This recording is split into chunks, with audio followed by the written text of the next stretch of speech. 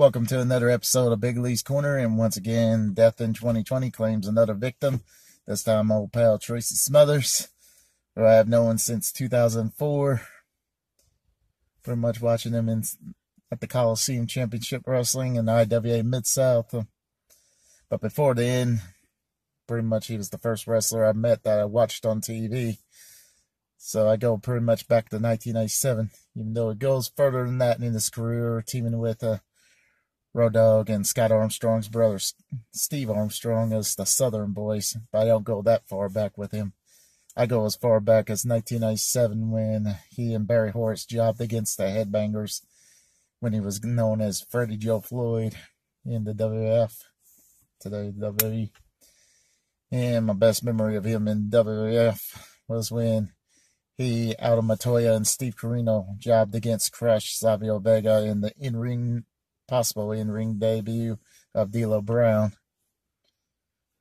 But other than that, and then I watch him in ECW as one half of the full-blooded Italians until I guess in 1999 or 2000, don't remember which year. But he and Nunzio and Little Guido became enemies all of a sudden, and then he was out of the picture. But other than that, I watched him in Coliseum Championship Wrestling where I first met him. Yeah, I'll admit I was getting cold feet when I was waiting in line, then meet him for the first time because, like I said, that's the first guy I met that I watched on TV before I even got in the business myself.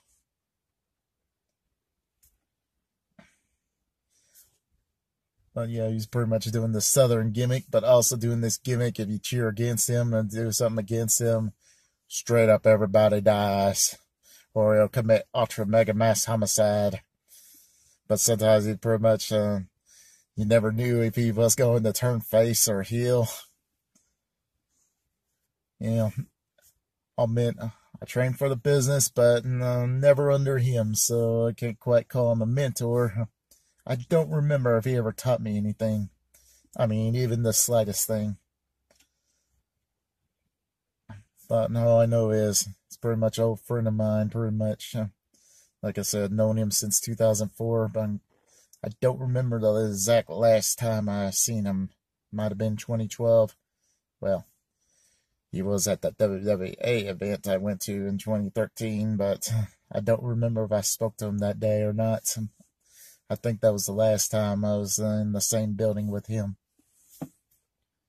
But anyway, I can't think of many stories, um, except for one. Yeah, I can't think of any private stories pretty much. So I guess I'll call it a day and just say rest in peace, Tracy Smothers. Straight up, everybody dies. That's all for this episode of Big Lee's Corner. I'll try to have a nice day. Rest in peace, Tracy Smothers.